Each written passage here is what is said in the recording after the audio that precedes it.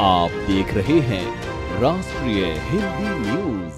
नमस्कार, आप देख रहे हैं राष्ट्रीय हिंदी न्यूज़ और मैं आपके साथ उषा। चलिए रुक करते हैं खबरों की तरफ़। दिल्ली के मुख्यमंत्री अरविंद केजरीवाल ने national capital civil service authority, NCC की पहली मीटिंग बुलाई है। दिल्ली के मुख्यमंत्री आवास पर यह बैठक 20 जून को 12 बजे होगी। एक अधिकारी के खिलाफ अनुशासनात्मक कार्रवाई को लेकर यह मीटिंग होगी। वहीं जानकारी के लिए आपको बता दें कि केंद्र द्वारा गठित अथॉरिटी के अध्यक्ष दिल्ली के मुख्यमंत्री हैं। दिल्ली के मुख्य सचिव एवं प्रधान गृह सचिव इसके सदस्य हैं। इस अथॉरिटी को दिल्ली में तैनात ग्रुप ए श्रेणी के अधिकारियों के तबादले और अनुशासनात्मक कार्रवाई के संबंध में फैसले का अधिकार दिया गया है। फ़िलहाल के लिए इतना ही। देश दुनिया की तमाम बड़ी खबरों को जानने के लिए बने रहें राष्ट्रीय हिंदी न्यूज़ के साथ। जय हिंद।